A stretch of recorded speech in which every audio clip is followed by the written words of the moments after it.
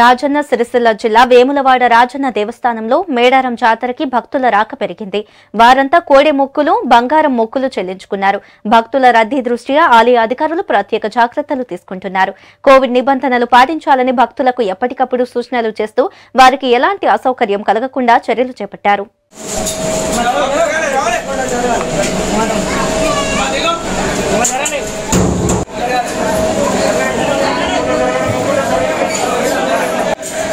Darbo!